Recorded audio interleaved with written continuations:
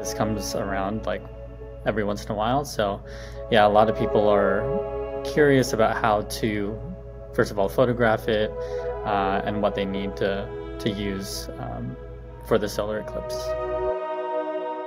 Any digital uh, camera will have a sensor that will uh, make the photo. Um, and so a lot of digital cameras, DSLRs, mirrorless cameras, even your phone, uh, you know, they all have sensors. So uh, it's really not a good idea to point them directly to uh, the sun, especially during a uh, solar eclipse, um, without the proper equipment.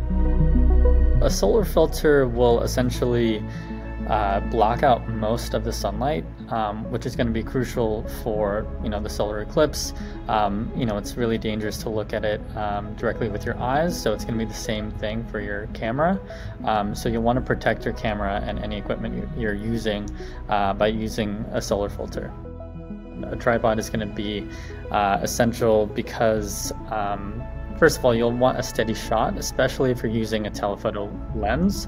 So if you're using something that's going to be really, really zoomed in to the, to the uh, eclipse, then it's important to keep that shot stable. So tripods are a must. Um, a lot of people will use like remotes, um, like remote triggers um, or even wireless triggers to uh, stand away from their uh, camera. Uh, so maybe they want to view it from a different view, but their camera's pointed directly at it. So uh, they can just click on a remote and they'd be able to uh, take a photograph that way.